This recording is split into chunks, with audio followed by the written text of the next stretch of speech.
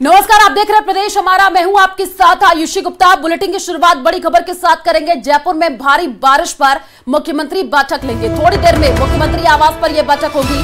भारी बारिश के कारण होने वाली समस्याओं पर चर्चा विमर्श किया जाएगा। बारिश से समस्याओं के निराकरण के निर्देश सीएम दे सकते हैं। बैठक में जलदाय विभाग, सिंचाई विभाग, सार्वजनिक निर्माण विभाग, जयपुर विकास प्राधिकरण, नगर निगम, स्वास्थ्य विभाग जो है, और साथ ही एनएचआई जेबीवीएनएल सहित प्रशासन के अधिकारी इसमें शामिल होंगे।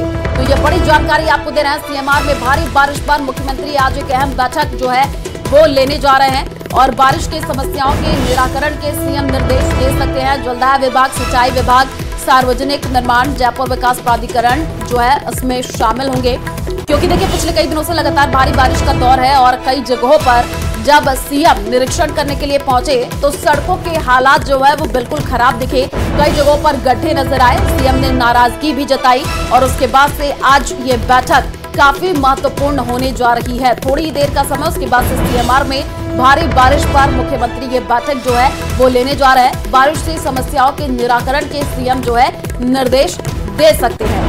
ज़्यादा जानकारी के लिए संवाददाता राकेश हमारे साथ फ़ोन लाइन पर जुड़ चुके हैं। राकेश, जब सीएम भजन लाल निरीक्षण करने के लिए पहुँचे तो कई जगहों पर सड़कों पर गड्ढे नज़र आए। अब यह बैठक काफ़ी महत्वपूर्ण हो जाती है। बिल्कुल देखिए, जिस तरीके से राजधानी जयपुर के हालात जो नज़र आए हैं, सीएम खुद दौरे पर निकले थे तो चूँकि बहुत बड़े विभाग और इस ज़िम्मेदारी में लगे हुए थे।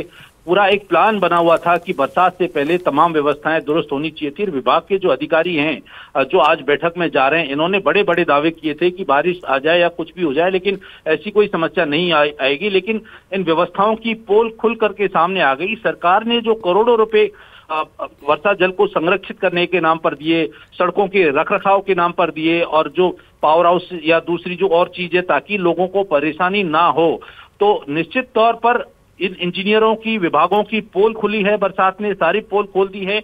अब मुख्यमंत्री इसमें सख्त एक्शन ले सकते हैं। कुछ अधिकारियों पर गाज गिर सकती है, जिनकी ज़िम्मेदारी थी व्यवस्थाओं को बनाए रखने की, जिन्होंने कागज़ी दावे किए। उन कागज़ी दावों पर मुख्यमंत्री आज सख्त निर्णय ले सकते हैं और कई अधिकारियों को इसमें जो है निश्चित तौर पर पनिशमेंट भी किया जा सकता है। हालाँकि अभी बैठक कुछ देर में शुरू होगी तो जो सभी विभागों के अधिकारी जो है वो पहुँच रहे हैं। जिन जिन इलाकों में जल भराव की स्थिति है, वहाँ पर आगे इस पानी के कारण दूसरी बीमारियाँ पैदा ना हो, लोगों को समस्याएँ ना हो, इसके त्वरित निराकरण के निर्देश मुख्यमंत्री आज संबंधित अधिकारियों को दे सकते हैं, क्योंकि जब पानी भरा है तो अब इससे मलेरिया डेंगू, चिकनगुनिया सहित कई अन्य बीमारियाँ पैदा हो सकती हैं। साथ ही स्वच्छ जल आम आदमी को पीने को मिले और दूसरी जो तमाम व्यवस्थाएँ हैं, उनके निर्देश भी इस बैठक में दिए जा सकते हैं। लेकिन सबसे बड़ी बात इसमें, बैठक में जो सामने आ सकती है, वो ये है कि जो लापरवाही अधिकारियों की सामने आई है, जो कागज़ी दावे अधिकारियों के सामने आए हैं, उसको लेकर सरकार सख्त है और सरकार बड़ा निर्णय ले सकती है। और ऐसे अधिकारी जो सिर्फ़ कागजों के काम के आधार पर अपने दावे करते रहे हैं, धरातल पर उनका काम नज़र नहीं आया है, उन पर भी गाज गिर सकती है। बिल्कुल, राकेश, क्योंकि लगातार जो है अधिकारियों की तरफ़ से कई बड़े दावे किए गए थे। सीएम मजनलाल जो है लगातार निर्देश देते हुए नज़र आए थे, लेकिन धरातल पर वो स्थिति देखने को नहीं मिली। कितना और समय का इंतज़ार जब ये बैठक शुरू हो जाएगी?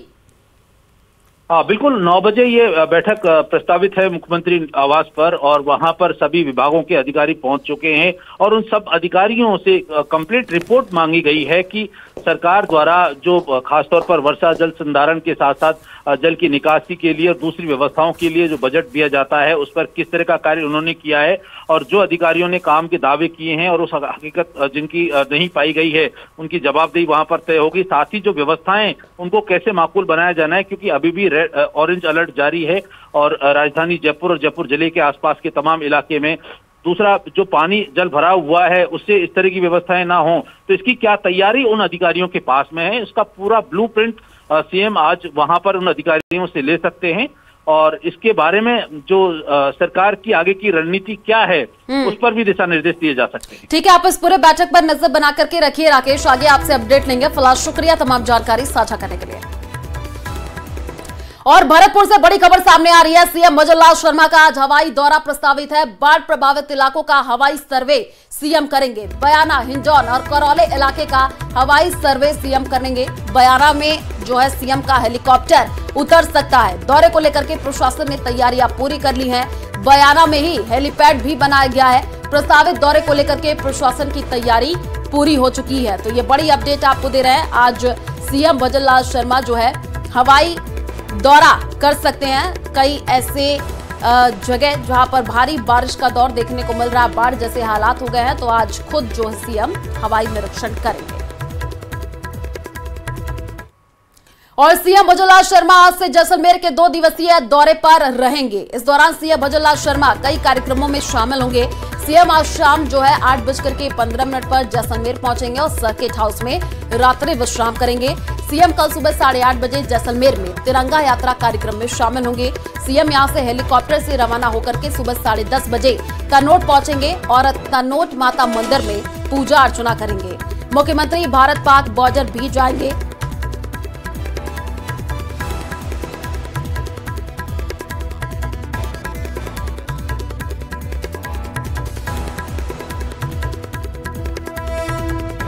तो आपको बता दें कि मुख्यमंत्री भारत पाक बॉर्डर भी जाएँगे और बॉर्डर पर जवानों से मुलाकात करेंगे और इसके बाद सीएम दोपहर एक बजे फतेहगढ़ में कॉलेज के कक्षा कक्ष का लोकार्पण करेंगे।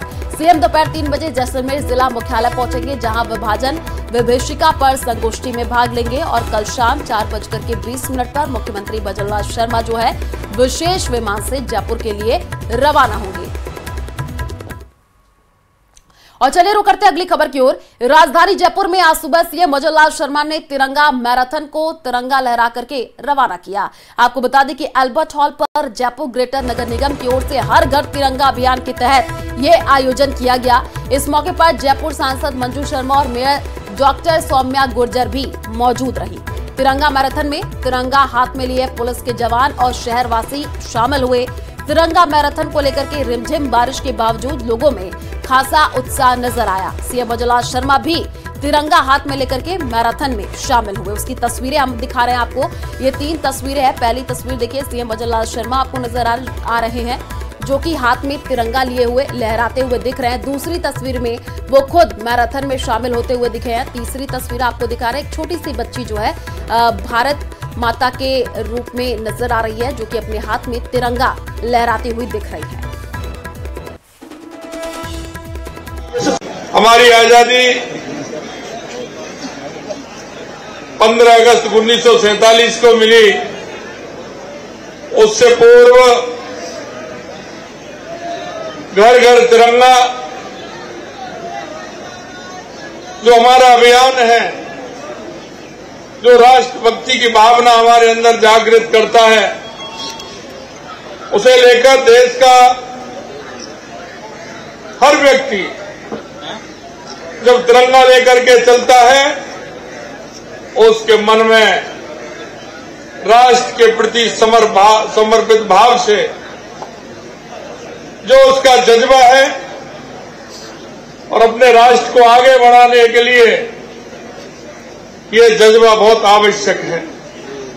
इस मौके पर मैं आप सभी को राष्ट्र के प्रति हमें समर्पित होकर के राष्ट्र के उन सभी कार्यों को जो हमारा प्रदेश, हमारा देश आगे बढ़े, ऐसे कार्यों को हमें करना है। तिरंगा अभियान के तहत आज हमारे यशस्वी मुख्यमंत्री महोदय जी ने तिरंगा मैराथन को फ्लैग किया है। साथ में वो बच्चों के साथ में, क्योंकि उत्सुकता और बच्चों का जो उत्साह था तो आदरणीय मुख्यमंत्री जी साथ में भी उनके चले तिरंगा मैराथन में। हमारी जयपुर की सांसद भी आई और ये हम सबका मान सम्मान और हम सबकी ज़िम्मेदारी भी होगी कि, हमारे हर घर तिरंगा, हमारे मन में तिरंगा है, पर हमारे घर पर भी तिरंगा होना चाहिए।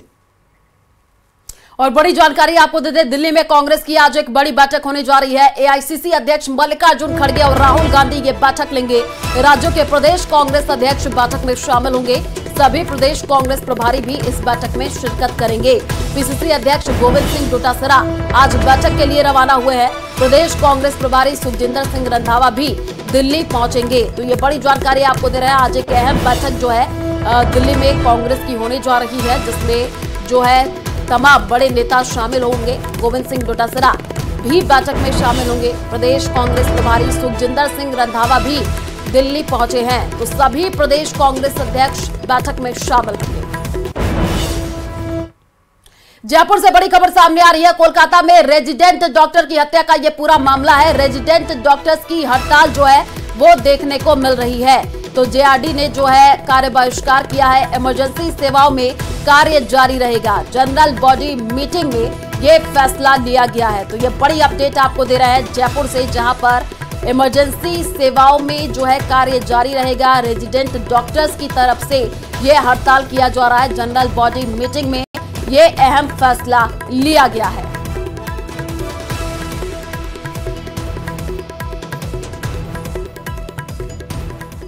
जोधपुर से बगैर से बड़ी खबर सामने आ रही है। आपको बता दें कि भगवान सर पंचायत पर धरना जारी है। रात भर पंचायत के बाहर धरने पर ग्रामीण बैठे रहे। वीडियो द्वारा किए गए भ्रष्टाचार को लेकर के लोगों में गुस्सा देखने को मिल रहा है। वीडियो को हटाने और भ्रष्टाचार की जाँच की मांग की जा रही है। तो तस्वीर श्री गंगानगर की है। यहाँ पर आप देखिए कि कुछ लोग आपको नज़र आ रहे हैं। इनमें गुस्सा है और ये जो है, धरना दे रहे हैं। तो बड़ी संख्या में लोग यहाँ पर इकट्ठा हो गए रात भर पंचायत के बाहर बैठे और ये ग्रामीण धरना दे रहा है। वीडियो द्वारा किए गए भ्रष्टाचार को लेकर के लोगों में गुस्सा है। वीडियो को हटाने की मांग की जा रही है ग्रामीणों के तरफ़ से।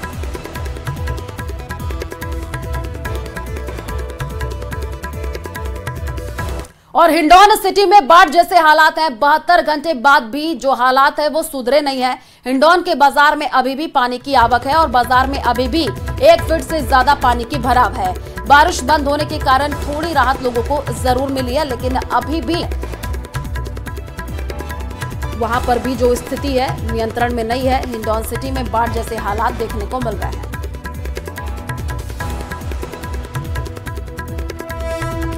तो तस्वीर आपको दिखा रहे हैं। देखिए, जल भराव की स्थिति देखने को मिल रही है। हिंडौन के बाज़ार में अभी भी पानी की आवक यहाँ पर दिख रही है।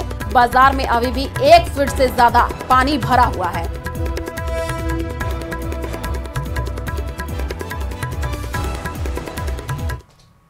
प्रतापगढ़ के बहुचर्चित मुंगाना तिहरे हत्याकांड में पुलिस ने लबाना समाज के प्रमुख पंचों सहित नौ आरोपियों को गिरफ़्तार किया है। इन पर पुलिस ने दो दो हज़ार रुपए का इनाम घोषित कर रखा है।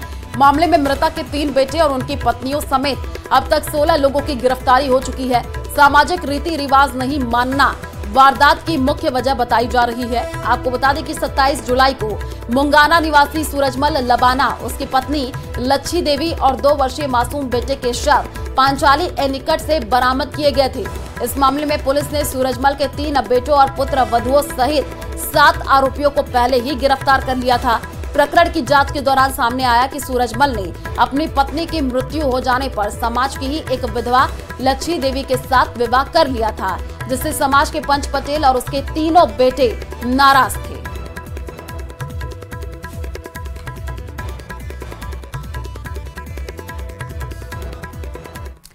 कोटा की तलवंडी कॉलोनी में देर रात बाइक सवार बदमाश महिला की सोने की चैन तोड़ करके फरार हो गए। महिला अपने पति के साथ बाइक पर जा रही थी। इसी दौरान बदमाशों ने वारदात को अंजाम दिया और चंद मिनट में ही वहाँ से फरार हो गए। बदमाश जो है बाइक से दंपत्ति का पीछा कर रहे थे और मौका मिलते ही उन्होंने इस वारदात को अंजाम दे दिया और फरार हो गए। पीड़ित दंपति ने अशोक नगर थाने पहुँच करके शिकायत दर्ज करवाई है। फ़िलहाल पुलिस घटना की जाँच कर रही है।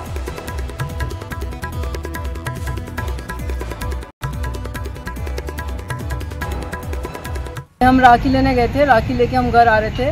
तो पीछे से वो लोग हम गाड़ी लेके जा रहे थे दो जने पीछे आए। पता नहीं वो हमारा कहाँ से पीछा कर रहे थे ये हमें नहीं पता। लेकिन वो हमारे जस्ट पास से गाड़ी लेके और उसने मेरी एकदम बहुत तेज ट्रेन एकदम बहुत तेज खींची उसने। से राखी लेने निकले थे। मेरे पीछे मिसेज बैठी हुई थी। हमने यहाँ ले, लेडीज़ वाले हैं वी मार्ट के पास से राखियाँ खरीद के हम घर जा रहे थे। घर जाते हुए और यहाँ मंदिर के सामने से निकले। और कॉर्नर पे पीछे से एक मोटरसाइकिल वाला निकला था। और सिरोही ज़िले में आबू रोड, रिको थाना पुलिस ने मावल रिजॉर्ट में जुआ खेलते 12 लोगों को गिरफ़्तार किया है। कार्रवाई के दौरान पुलिस ने जुआ सामग्री समेत दो कारें और एक लाख तैतालीस हज़ार रूपए बरामद किए हैं। पकड़े गए सभी आरोपी गुजरात के जो है, बनासकांठा ज़िले के हैं। तो ये बड़ी जानकारी आपको दे रहा है, दो कारें और एक लाख तैतालीस हज़ार रुपए जो है बरामद कर लिए गए हैं। सिरोही से ये बड़ी अपडेट, जुआ खेलते 12 लोग गिरफ़्तार किए गए हैं।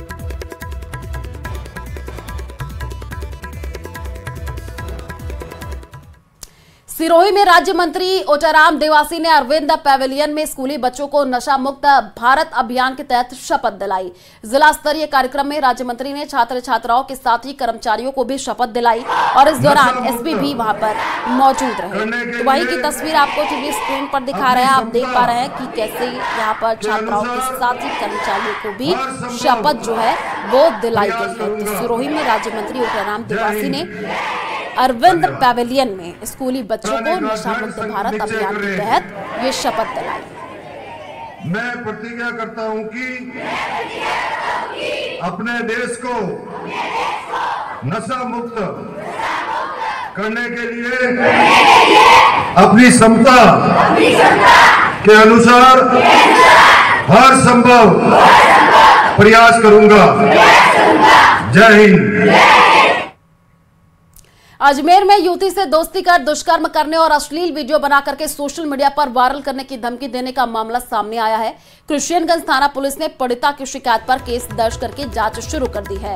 पुलिस के अनुसार पीड़िता ने रिपोर्ट में ये बताया कि गाँव का एक युवक उस पर लगातार दोस्ती करने का दबाव बना रहा था। दोस्ती नहीं करने पर आरोपी ने पीड़िता के भाई और परिवार को जान से मारने की धमकी दी। कुछ दिन पहले आरोपी उसे रास्ते से गाड़ी में उठा करके होटल ले गया, जहाँ उसने उसका रेप कर अश्लील वीडियो बना लिया। आरोपी ने बदनाम करने की नियत से उसके फ़ोटो और वीडियो मंगेतर को सोशल मीडिया पर भेज दिए जिससे उसका रिश्ता टूट गया।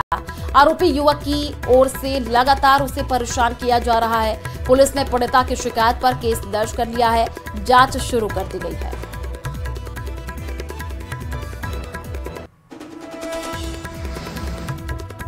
2024 की बात है। एक महिला थाना एल के, के उपस्थित होकर रिपोर्ट दी।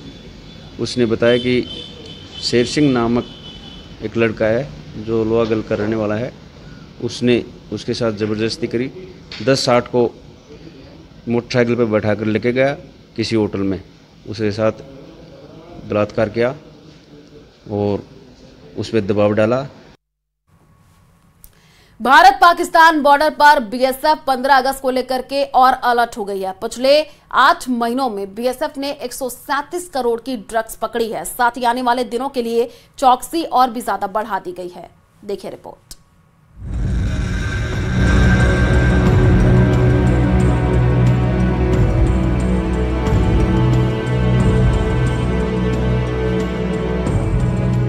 सीमा पार से हो रही घुसपैठ और तस्करी को रोकने के लिए सीमा सुरक्षा बल, यानी बीएसएफ अब स्मार्ट फेसिंग और एंटी ड्रोन टेक्नोलॉजी का इस्तेमाल करेगी। बीएसएफ ने घुसपैठ को रोकने के लिए ऐसी फेंसिंग लगानी शुरू कर दी है, जिसके साथ छेड़छाड़ होते ही हेडक्वार्टर पर अलर्ट चला जाएगा। वहीं इस साल मैच आठ महीनों में पाकिस्तान से ड्रोन के ज़रिए गिराई गई एक करोड़ की ड्रग्स पकड़ी जा चुकी है। इसके लिए खास एंटी ड्रोन मशीन का इस्तेमाल किया जा रहा है। BSF, Rajasthan frontier IG ML Garg ने बताया कि स्वतंत्रता दिवस और बांग्लादेश की परिस्थितियों को देखते हुए सीमा पर एक्स्ट्रा फोर्स भी लगाई गई है। इसके लिए देश भर की एजेंसियों की मदद ली गई है। बांग्लादेश को लेकर के बीएसएफ पूरी तरह से सजग है। बीएसएफ के लिए वाकई बहुत मुश्किल टास्क है। 4096 किलोमीटर का बॉर्डर है इंडिया बांग्लादेश का। जिसमें जो सबसे पहले नीचे वेस्ट बंगाल आता है, उसके बाद में ऊपर उसके आ जाएगा ये असम, फिर मेघालय, फिर मिजोरम और उसके बाद त्रिपुरा। तो इन सारे स्टेट्स में जो हिंदुस्तान का बॉर्डर हमारा बांग्लादेश के साथ लगता है, इन सभी जगहों के हालात बेहद सेंसिटिव बने हुए इस साल आठ महीनों में बीएसएफ ने कुल 30 किलो हेरोइन पकड़ी है। जिसकी कीमत करीब एक सौ सैंतीस करोड़ रुपए है। इसके साथ ही चार पाकिस्तानी ड्रोन और ड्रोन के ज़रिए गिराए जाने वाले कई हथियारों को भी जब्त किया गया है। साथ ही कुल 38 संदिग्ध व्यक्तियों को पकड़ा गया है, जिनमें से छह पाकिस्तानी नागरिक हैं और एक बांग्लादेशी नागरिक है। आपको बता दें कि बीएसएफ ने 2023 में चौहत्तर किलो हेरोइन पकड़ी थी तो वहीं 2022 का आंकड़ा चौतीस किलो का था। बीएसएफ ने एंटी ड्रोन सिस्टम लगभग पूरी सीमा पर लगाए हैं, जो इफेक्टिवली काम कर रहे हैं। बहुत इफेक्टिवली उसकी लोकेशंस मैं आपको नहीं बता सकता, लेकिन वो बहुत इफ़ेक्टिव है और बहुत अच्छा काम कर रहे हैं। एंटी ड्रोन गन्स हैं, जो लेजर का इस्तेमाल कर रहे हैं एंटी ड्रोन गन्स का इस्तेमाल कर रहे हैं। हमारी जो डूंगरपुर पुलिस ने फरार चल रहे तीन तीन हज़ार के दो बदमाश सुनील और संजय को गिरफ़्तार किया है। और चलिए फ़िलहाल इस बुलेटिन में इतना ही, बाकी